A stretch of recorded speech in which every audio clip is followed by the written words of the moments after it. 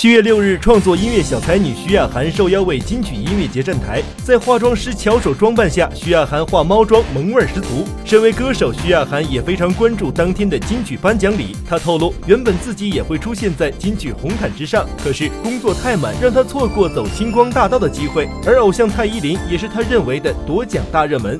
啊，其实今天呢，本来是有要走红地毯的，可是就是因为要拍戏，然后又要呃有活动，所以就没有办法到现场。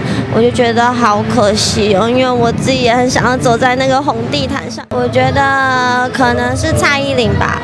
对，因为我对蔡依林姐姐她比较熟悉，比较了解。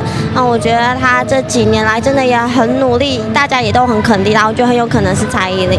才刚刚十五岁的徐雅涵，这次虽未能踏上金曲红毯，但年纪轻轻的她，以后还是大有机会在金曲奖上摘金夺银的。